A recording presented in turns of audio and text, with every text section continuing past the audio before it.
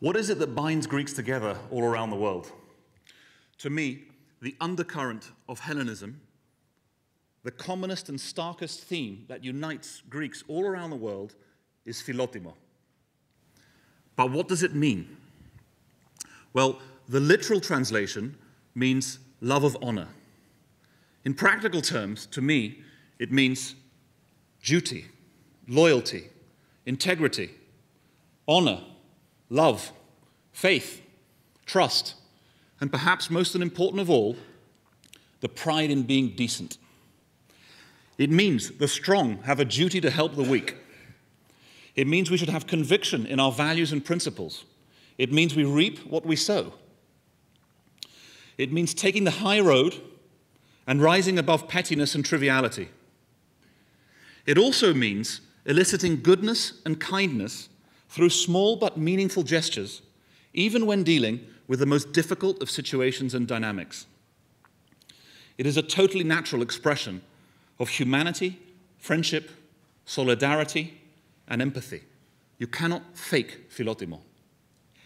However, sometimes when crisis hits, one's core values can be clouded by despondency and desperation. There has been in recent times a dilution of pride, principles, and purpose in Greece. We keep hearing about the financial crisis, not the social one. We do not hear about the massive jump in suicides, the rise in homelessness, the practical unwinding of the fabric of society. What can we do to help? How can we show our philotimo as Greeks of the diaspora and assist the Greeks of Greece? Well, let's start with, to me, what is the largest problem? There is a void of hope and a deficit of pride and opportunity in Greece today. I would say a reassertion of our core ancient values is the first thing we can do. We can remind people that a crisis is also an opportunity. Not just an opportunity for profit or for business success, but an opportunity to reflect, to change, to be better, to be more humble. Trust is a fundamental cornerstone of any form of progress. It is the key that can unlock hearts and minds. The fabric of what we have built as a group and a family has been underwritten by Philotimo. The notion of deals done on a handshake, empowering people and trusting people across the globe to act and make decisions on our behalf. Across the centuries, the Greeks have shown how wrong it is to be guided purely by what is realistic. Was it realistic for Alexander the Great to conquer the known world? Was it realistic for the 300 Spartans to hold the line? Let's relate this to Greece today. Most would say it is unrealistic for Greece to recover and prosper. I would say we should talk about what Greece can be and not continuously moan about how it has failed and what it cannot be. The starting point for recovery is belief. The second stage is strong and inspiring leadership.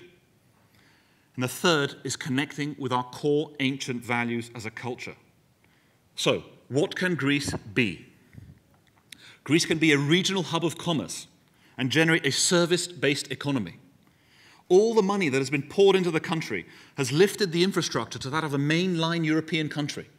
The country sits at the gateway of East and West. It is the border of the European Union the Hellenic Navy patrols that border. Greece has many industries and people who just need the ceiling of negativity and cynicism to be lifted to allow their dreams and ambitions to flourish. There are thousands of hugely. Thank you.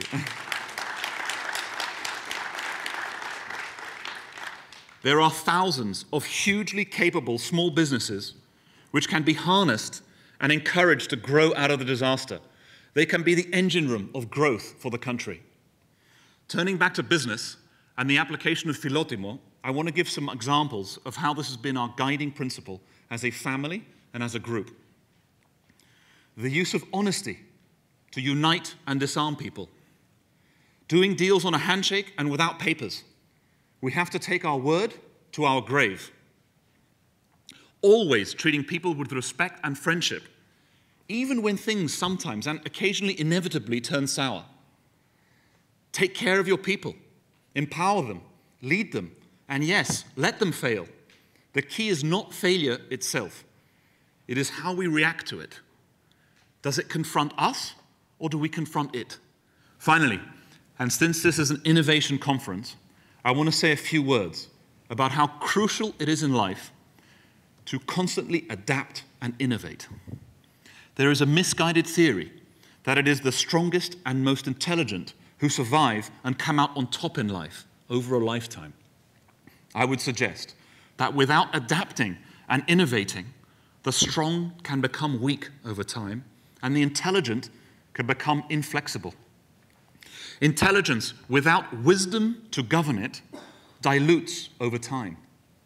And to me, that wisdom emanates from a capacity to be innovative and adaptive. And above all, however much you adapt, always do it from a base of philotimo. Thank you for listening, and I wish you a good day.